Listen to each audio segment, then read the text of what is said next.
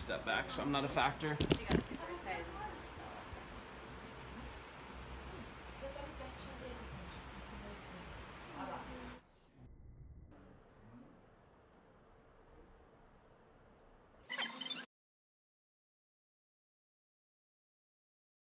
Yeah. Okay.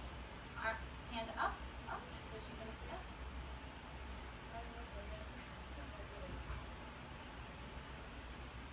It's good. I can't see. Okay, so next time, one treat. For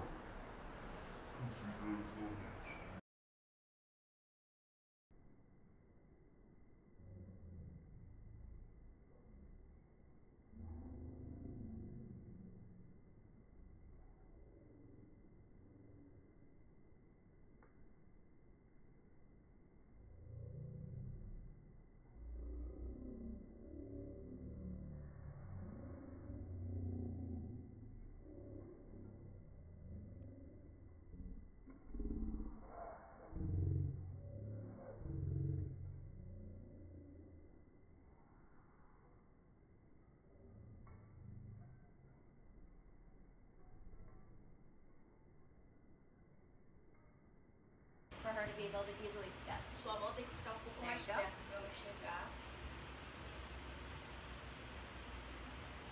It's okay.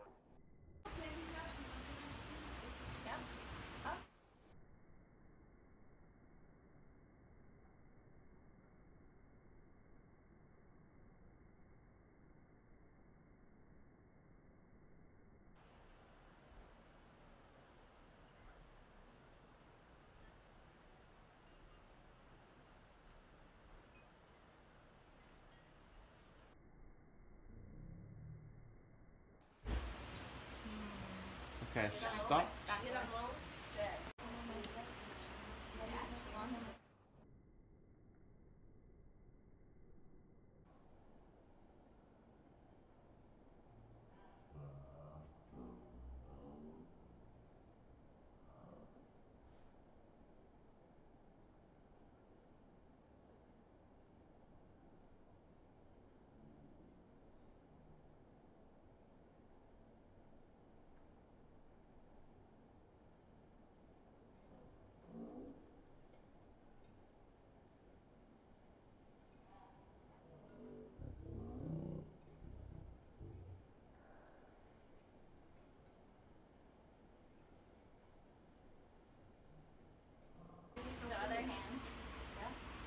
Always- It's very small, but it's a little bit longer.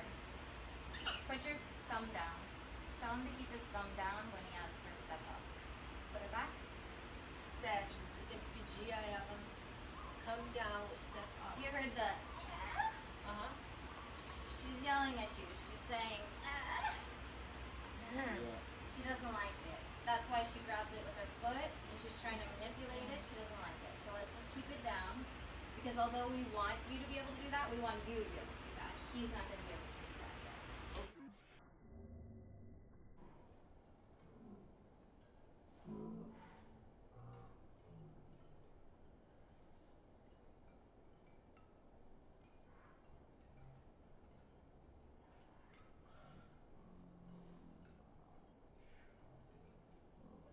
So it's hand, not arm.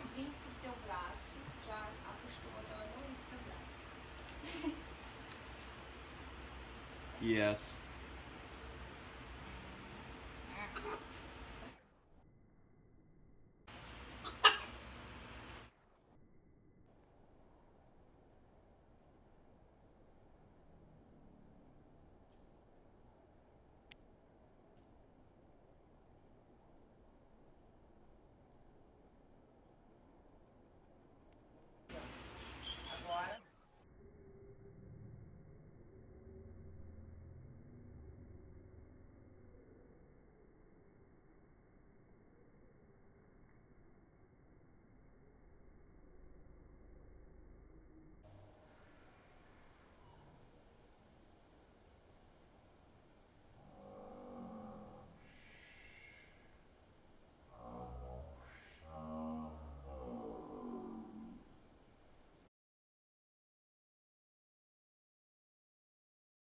Hey guys, I hope you have found this video super helpful in being able to spot inconsistencies in training and also realize what consistency looks like. I wanted to show the perspective of both to show um, how fast you can progress in your training. So basically, Sunshine, the blue and gold macaw, I was a neutral person to her. She didn't know me, so she didn't have good or bad experiences with me. In three sessions, I was able to establish some trust and to the point where she would step up totally willingly and um, she was very excited to do so. With Sergio, he was a negative person, so it was already going to take a little bit more.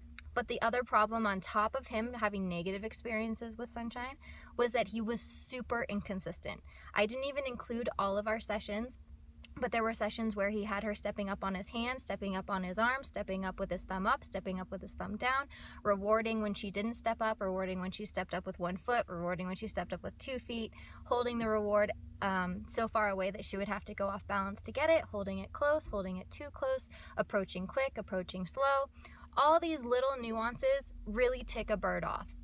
So when they already don't totally trust you, and then you have all these little inconsistencies that make you unpredictable, they're much less likely to repeat the behavior and trust you and step up because they aren't quite sure what you're gonna do. So even the inconsistency of his thumb was driving her crazy. What Sunshine thought was that he was going to put her thumb, his thumb down on her feet and hold her feet, and she really doesn't like that. And because he doesn't have an established relationship, we can't even go as far to work on that yet. So with her, um, the person that she really loves, Claudia, Claudia can work on that because she already has an established relationship that's super positive and really, really good. She can work on that, but Sergio cannot because he's not there yet.